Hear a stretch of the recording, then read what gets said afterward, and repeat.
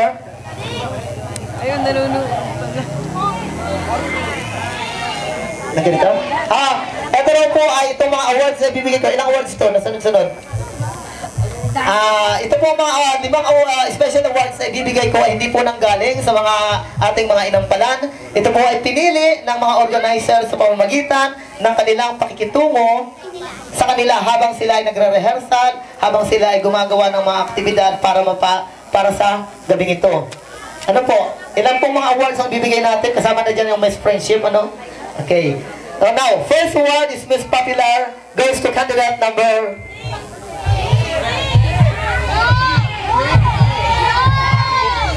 Number seven.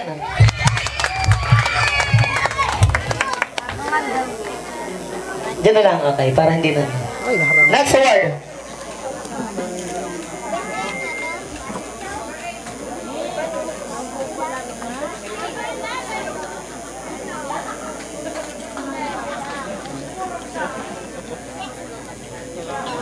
Hello.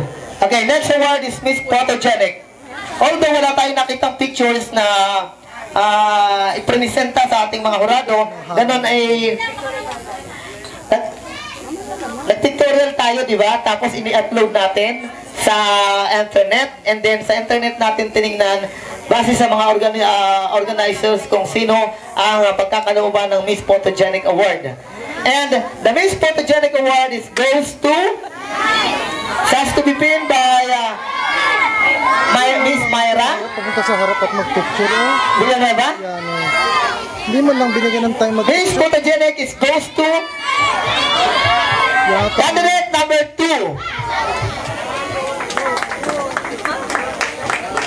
Yan ang mga ano, medyo masigla-sigla na medyo ma mabibitin man lang mga ating mga nakakatakot. Sino kaya? Sino kaya? Ganun. Tabi-tabi dyan. Yung merong ano, sound effect ba? Yung sound effect. Tumabi-tabi ka dyan. Huwag ka na sumama sa picture. Sayang sa'yo na yung, yung ano, stage eh.